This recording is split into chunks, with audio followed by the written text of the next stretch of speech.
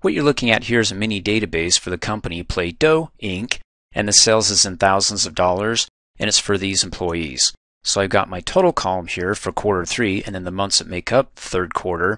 So for July, you can see that Marge Simpson is in cell B6, also the same cell, but a different worksheet for August, and then September. So when I go back to the total worksheet and I want to bring in all those cells for those different months for the third quarter, just hit the equals key on the keyboard and go to July, select the cell, and then notice up here in the formula bar, it's got the name of the worksheet and then the operator that separates the name of the worksheet and the name of the cell. So within the worksheet, July, we're looking at B6. If you hit enter on the keyboard and you select the cell, you can see it up here in the formula bar and it's just bringing in the number from July. But I want to include all the other numbers and add them up to get the total for the third quarter. To do that, let's go ahead and click back up here in the formula bar, hit the plus key on the keyboard, and then go to August and select, it's going to be the same cell but different worksheet, B6, and then go ahead and hit the plus key on the keyboard, go to September, and select the final cell in our formula, then hit enter, come back up here, and there you go.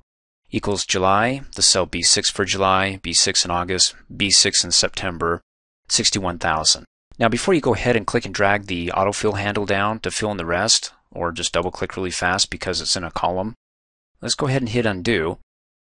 There's another way that you can go about doing this, but you have to have some structure, like I have. For example, Mr. Humphreys is in B7, and on July he's also in B7, also August and September. So if I go back to the total worksheet, and I want to quickly add those up without going from worksheet to worksheet, then let's go ahead and hit the equals key on the keyboard and type in the function sum, hit the tab key to pop open the syntax so we can see it down below. And we're going to go to July and select the cell B7, but then instead of clicking from one worksheet to the next, I'm going to hold down the Shift key and click on September. Then look back up here and see what's going on.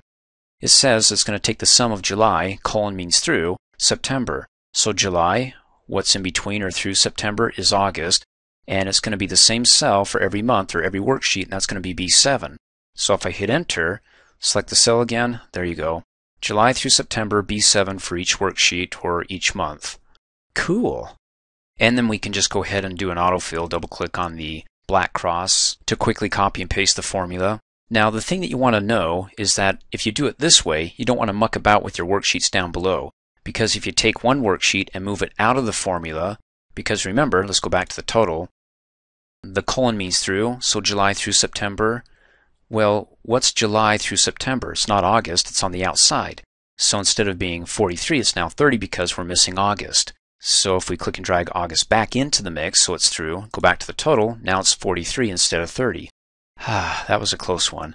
So don't mess with your worksheets if you do it this way, okay? It's just a shortcut, but it does have its drawbacks. Now because these formulas are pulling in the numbers from the other worksheets, they are linked, so any changes that I make on those other worksheets, it'll update it here. Like for Marge, 61, and then for Mr. Humphreys, 43. So if I come to July, and I go 0 and 0 for Marge and Mr. Humphreys and go back to the total, instead of 61 and 43, they're now 44 and 28. And it's not just formulas. For example, we've got a cell here that has the text total. If I come into another cell and hit equals, and I select that cell, it equals whatever's in that cell, in this case text. When I hit enter, there you go. It's just linking it up. So if I make changes in this cell, and get rid of the S and totals and hit enter, it updates it here as well. Thanks for watching. Hey, as a quick reminder, if you like my video, please give it a thumbs up. You can also click on me and subscribe to my channel, get notified of the latest videos, and for only $2 a month, you can have access to all my Microsoft Office training videos.